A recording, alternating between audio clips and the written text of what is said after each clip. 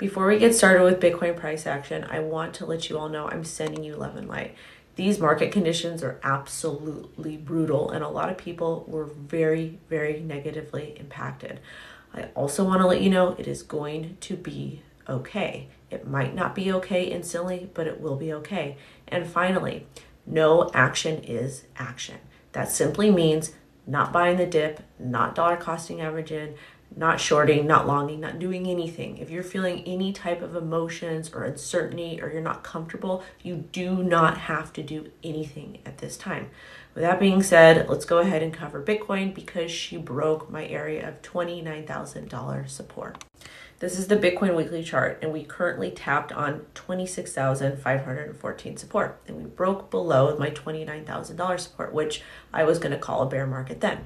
And again, I do believe that the Terra Luna UST thing is a complete black swan event that is causing the entire market to crash like this. And yes, this is a crash. We're coming up on our seventh red candle on the weekly, and I look back at price action, and I've never seen this happen before. Personally, I would love to see Bitcoin consolidate around 29,000 to $3,200, $32,000, but I don't know if that's going to happen or not. And personally, I'm not taking any of these trades. The only thing I'm doing, I have a limit order set all the way down to $20,000. This candle on the daily is telling me there's a lot of uncertainty in the market. There's now a lot of FUD going on with Tether. Same with the 12 hour chart. But on the six hour chart, we can start to see a bit of a bounce, which is good. However, I have no idea if it's going to sustain or not. And taking a look at Market Cipher over here, it looks like we have a nice upward tick. But I did want to show you the CME gap chart. Generally, these gaps get filled, and this is the daily chart. Right here between 26.5 and 24.5, we have a very, very big gap. And generally, these gaps get filled. We also have another gap over here at 19.3 and 18.3. I don't know if we're going to get that low yet, but I still would not rule it out. And the gap at 26.5 and 24.5 has not been filled yet. We just have a wick down there.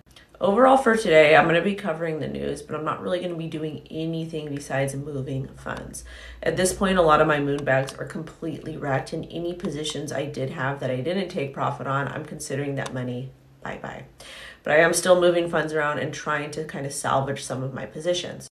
Again, if you're not comfortable doing it, don't do it. Do what works for you. Have a trading and investing plan, a bullish scenario and a bear scenario. Either way, I am sending you love and light, and we will get through this. There's going to be a big, bumpy road ahead.